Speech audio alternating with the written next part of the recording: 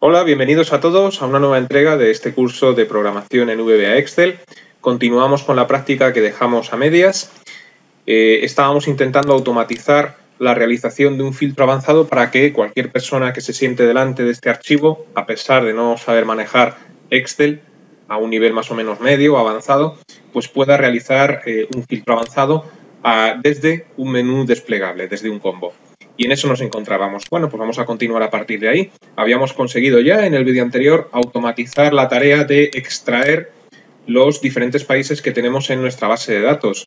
Para ello, pues habíamos eh, utilizado la, grabadora de macros para que nos generara esta instrucción y después con un cortapega habíamos metido esa instrucción dentro del evento open, del evento abrir de nuestro libro. Con lo cual hemos conseguido que al abrir nuestro libro automáticamente realice un filtro avanzado que lo que consigue es en la hoja de criterios extraer los diferentes países que tenemos en nuestra base de datos.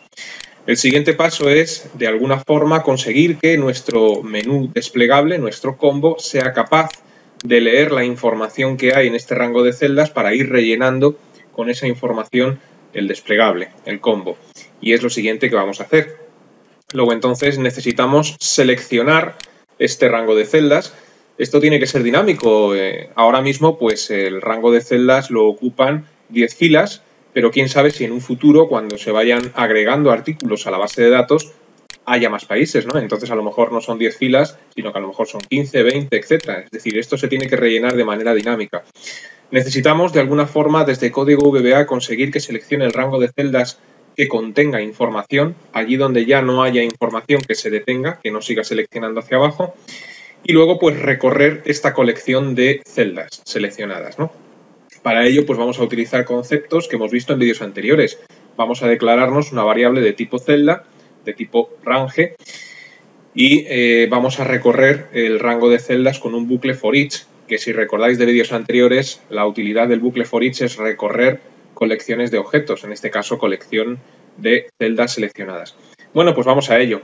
Abro el editor, me sitúo a continuación de la instrucción anterior y lo que hacemos en este caso pues va a ser seleccionar el rango de celdas que tenemos en la hoja de criterios. Luego entonces lo primero va a ser asegurarnos desde código que la hoja de criterios está seleccionada.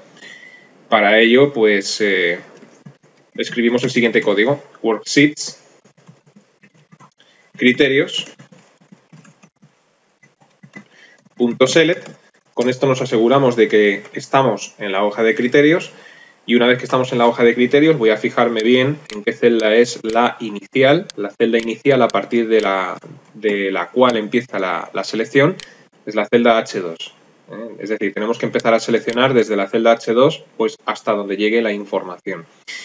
Teniendo esto en cuenta, pues seleccionamos la celda H2 y luego pues con una instrucción que ya hemos visto en vídeos anteriores desde lo que hay ahora mismo seleccionado, es decir, la celda H2 que nos seleccione hacia abajo hasta donde termine la información y eso lo conseguimos pues con la siguiente instrucción. Range, selección, coma, eh, selección .end xldown. Entonces, con esto lo que conseguimos es que nos consiga seleccionar eh, hacia abajo partiendo de la selección y luego pues que nos deje seleccionado pues todo ese rango, ¿no? Entonces, con esta instrucción conseguimos este propósito. Me gusta siempre ir paso a paso, vamos a ver si hasta aquí vamos bien. Luego entonces vamos a guardar cambios. Cierro el editor. ¿eh? Voy a borrar estos resultados para que lo haga bien desde el principio. Borrar todo. Guardo cambios, como digo, en el libro, lo cierro y lo volvemos a abrir. Bueno, pues como podéis observar, nada más abrir el libro, me rellena de nuevo la columna H y efectivamente esto ya está seleccionado, o sea que hasta aquí vamos bien, hasta aquí nos funciona.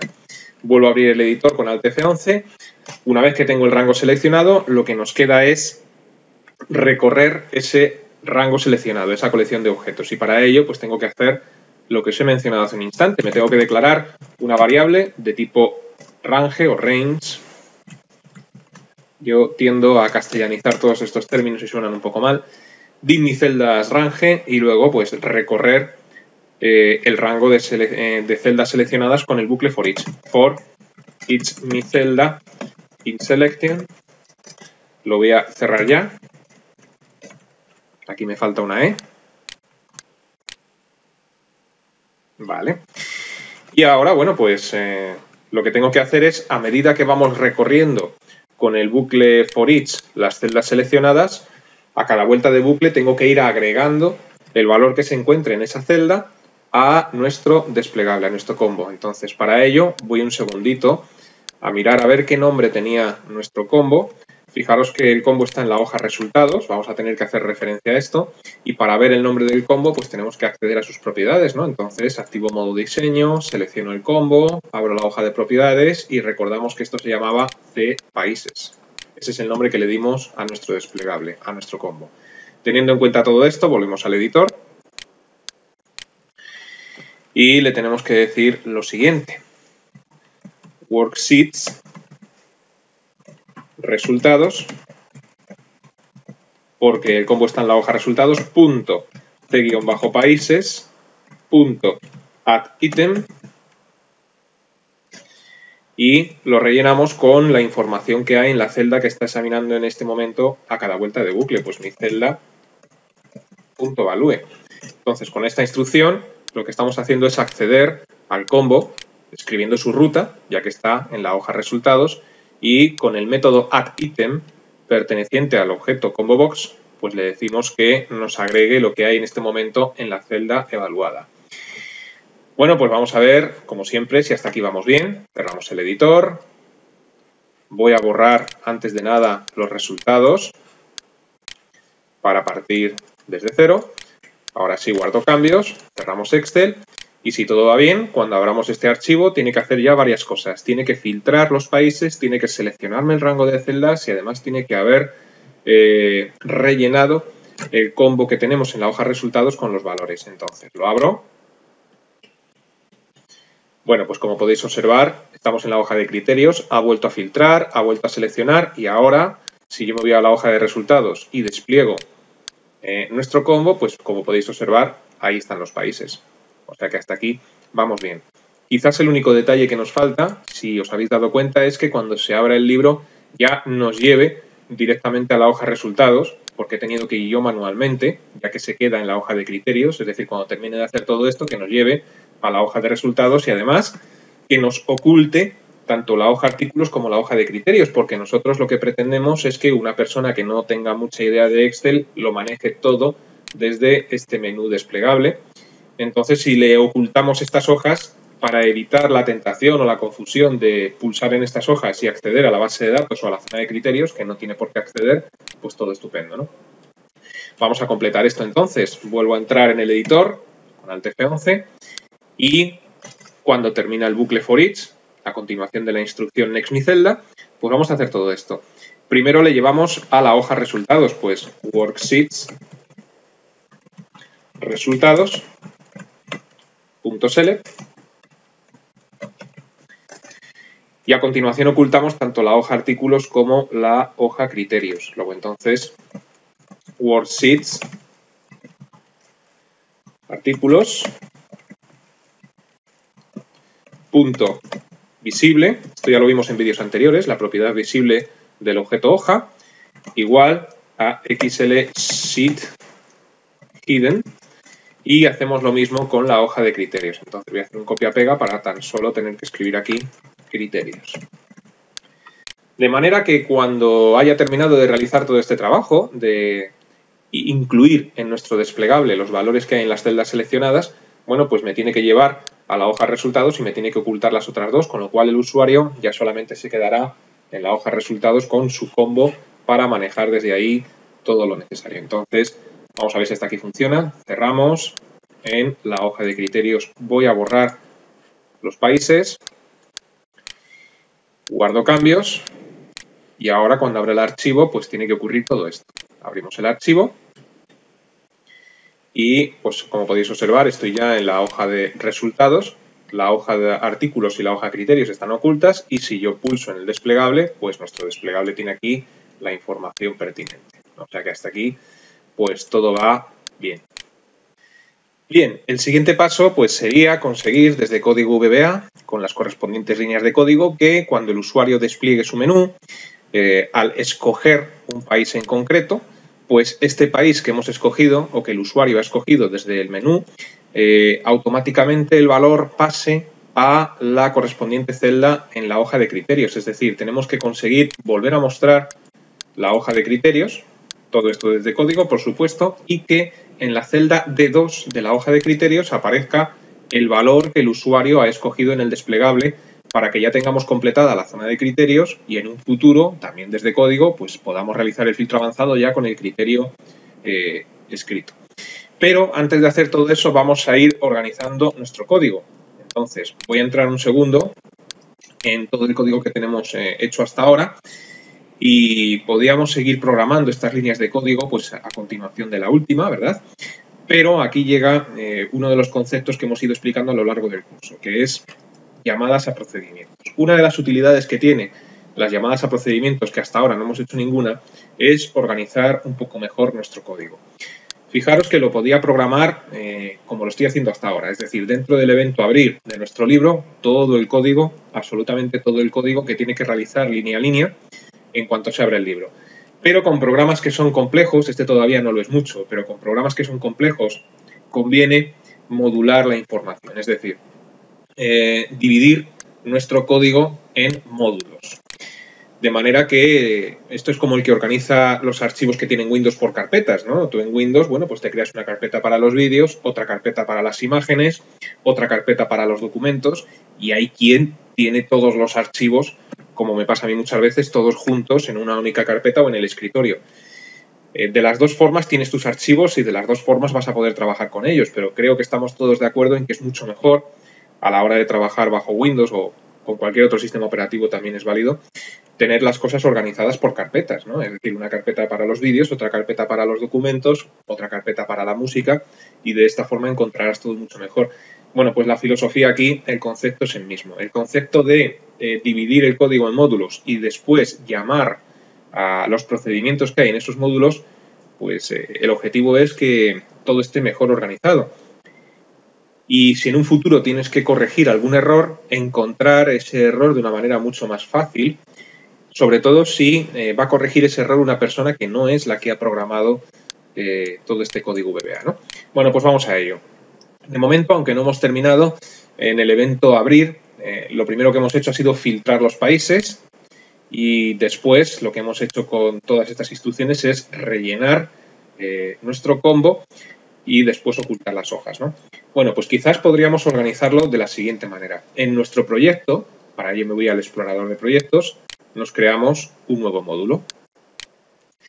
Voy a habilitar la ventana de propiedades porque a este módulo le voy a cambiar el nombre y lo voy a llamar, por ejemplo, filtrado. Bien, me voy a crear otro módulo dentro del proyecto y a este módulo pues lo voy a llamar, por ejemplo, eh, combo. ¿Mm? Entonces ya tenemos aquí dos módulos, uno que se llama filtrado y otro que se llama combo. Hago doble clic con el botón izquierdo en el módulo filtrado para acceder a su código y en este módulo filtrado me voy a crear un procedimiento al cual voy a llamar, por ejemplo, filtra-países. ¿Y qué es lo que voy a hacer? Pues lo que voy a hacer va a ser trasladar la instrucción que tenemos en el evento abrir eh, del libro, trasladarla a este módulo. Es decir, voy otra vez a This Workbook, selecciono la, el código que nos filtraba los países. Recuerdo que este código lo conseguimos utilizando la grabadora. Bueno, pues cortar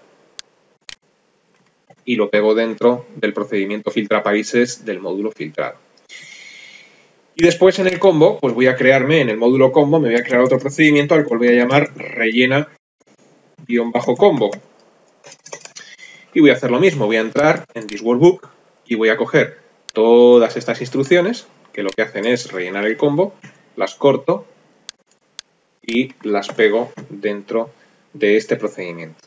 ¿Y qué es lo que hacemos ahora en This Workbook? Pues lo que hacemos en This, Workbook es ir llamando a estos procedimientos en el orden adecuado. Es decir, para empezar, pues tendremos que llamar al módulo que hemos eh, denominado filtra países, para que nada más abrir el libro, pues filtre, filtra guion bajo países, y después tendremos que llamar al otro procedimiento que hemos llamado pues rellena combo, pues call rellena combo.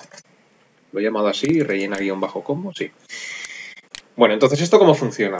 Pues las llamadas a los procedimientos, como podéis observar, están dentro del evento abrir del libro. Esto quiere decir que nada más abrir el libro, pues ya sabéis que el código se ejecuta de arriba abajo. La primera línea que se va a encontrar es esta, call filtra países. Luego entonces va a mirar a ver si tenemos en nuestro proyecto algún procedimiento que se llame de esta forma y que el procedimiento sea accesible como no le he puesto el private delante, el ¿eh? modificador de acceso, pues va a, ser, va a ser accesible, entonces filtra países. De momento no hay parámetro ninguno, ese procedimiento no recibe ningún parámetro, con lo cual va a encontrar filtra países aquí y va a realizar este trabajo. Cuando termine de realizar este trabajo, que lo que hace es filtrar los países, sigue con la siguiente línea y va a llamar a este procedimiento. Va a ver si hay un procedimiento con este nombre, que lo hay, en otro módulo, pero lo hay, y va a realizar el trabajo. En definitiva es lo mismo, solo que el código está organizado de diferente forma. Entonces, lo recomendable es que a medida que vas programando, pues vayas organizando el código de esta forma. Quizás no es exacto decir a medida que vayas programando, sino que antes de ponerte a programar tengas claro qué es lo que vas a hacer y eh, tengas claro cómo vas a dividir tu código, es decir, cuántos módulos vas a tener, cuántos procedimientos va a haber dentro de cada módulo y dónde vas a tener que hacer la llamada a esos procedimientos. Y como digo, esto lo tienes que tener claro antes de empezar a programar. Nosotros lo hemos hecho sobre la marcha porque estamos aprendiendo y para que veáis cuál es el objetivo de las llamadas a procedimientos, pero como digo, esto tienes que tenerlo estructurado en tu cabeza o en un papel incluso antes de ponerte a programar. Dicho esto, vamos a ver si esto funciona. Luego entonces cierro el editor, vuelvo a borrar aquí nuestros valores, eh, guardamos cambios, bueno, antes de guardar cambios tengo que ocultar la hoja de criterios. ¿eh? Luego entonces, hoja de criterios, la ocultamos. O mejor dicho, perdonar, tengo que mostrar artículos y criterios, ¿no? Que es como estaba al principio, porque el código lo que hace es ocultarlas después. Esto es. Borro incluso lo que hemos eh, seleccionado aquí en el combo.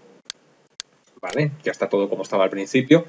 Ahora sí guardo cambios, cierro nuestro archivo y ahora al abrirlo, pues tiene que hacer todo esto, ¿no? Pero en esta ocasión estamos utilizando llamadas a procedimientos. Bueno, pues vamos a ver si lo hace. Abrimos. Y como podéis observar, pues ha hecho su trabajo exactamente igual. Me ha ocultado la hoja artículos y la hoja de criterios, me ha rellenado el combo con los valores correspondientes, ¿no? Y tenemos el código, pues, ya bastante más organizado, con sus módulos, combo, filtrado, procedimientos dentro de cada módulo y llamadas a procedimientos. ¿El siguiente paso cuál sería? Bueno, pues el siguiente paso, una vez que hemos llegado ya a este punto, sería, desde código VBA, conseguir que eh, la opción que seleccione el usuario desde este menú, es decir, si el usuario elige, por ejemplo, la opción de Marruecos, pues esta opción de Marruecos aparezca en la zona de criterios en su lugar correspondiente. Es decir, voy a mostrar un momento la hoja de criterios. Lo que necesitamos, el siguiente paso es que el usuario escoja pues, un país, el que le apetezca, y ese país aparezca en la celda D2 de la hoja de criterios, para que ya esté rellenada la zona de criterios y poder realizar el filtro avanzado. Vamos a realizar esa opción. Para realizar esa opción tenemos que acceder al código asociado a nuestro combo, porque necesitamos que esto se realice cuando. Bueno, pues cuando el usuario o bien seleccione una, opción de las que aparecen en el menú o bien pinche en el menú. Es decir, yo voy a utilizar el evento click. De esta forma le estaré diciendo al código que cuando el usuario haga clic en el menú, el valor que hay en ese momento en el menú pase a la celda D2 de la hoja de criterios. Bueno, pues vamos a ello. Como digo, necesito acceder al código asociado a este elemento para poder acceder al evento correspondiente. Bueno, pues habilito la ficha programador, habilito el botón modo diseño y una vez que tengo habilitado el modo diseño, doble clic en el combo. Al hacer doble clic en el combo, pues accedemos a su código asociado, pero fijaros que, como siempre ocurre, nos construye el evento por defecto o evento principal de este objeto y resulta que el evento principal del objeto ComboBox es el evento change al cambiar. Esto funcionaría perfectamente, es decir, lo que estamos haciendo con el change es decirle que ejecute el código que vamos a programar en unos instantes cuando cambie cuando cambie la información del combo. Y como digo, pues esto para nuestros propósitos funcionaría perfectamente, pero para ir viendo algunas cosas que hemos ido mencionando a lo largo del curso, vamos a cambiar el evento porque yo no quiero que ocurra cuando cambie la información, change, que aparece en el combo, sino cuando el usuario pulse en el combo. Eh, para cambiar el evento tenemos que situarnos dentro del evento por defecto y recurrir al desplegable que aparece arriba a la derecha en el editor de VBA, que para esto sirve. Luego entonces desplegamos el menú y buscamos el evento click. El evento click. He pulsado en otro sin querer. Bueno, pues aquí tenemos el evento click. Y luego, pues si tienes más eventos como me ocurre a mí, porque he pulsado en este sin querer, y luego el evento change, pues si no los vas a utilizar los puedes borrar y si los dejas vacíos tampoco ocurre nada. Pero bueno, yo para tener un código más limpio me lo cargo, lo borro. Ya tengo aquí el evento click. ¿Y qué necesito que ejecute cuando el usuario haga clic en este elemento de menú? Bueno, pues lo que os he comentado. Necesito que en la hoja de criterios pues nos ponga eh, el criterio, el elemento que el usuario haya escogido desde el menú.